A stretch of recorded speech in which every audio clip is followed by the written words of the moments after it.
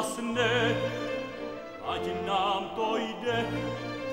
všecko krásně,